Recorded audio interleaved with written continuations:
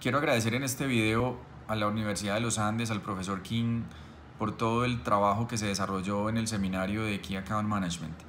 Definitivamente es bien importante que los equipos comerciales y de desarrollo comercial entendamos que existen metodologías que nos permiten a nosotros desarrollar mucho más a nuestros clientes y en especial a las cuentas más importantes de la organización. Hoy en día, más que nunca, la función del vendedor es fundamental para que podamos traer y desarrollar las organizaciones y en especial nosotros los negociadores internacionales traer divisas al país para este momento tan complicado. Y gracias a este seminario definitivamente tenemos mucho por aplicar, mucho por desarrollar en la organización.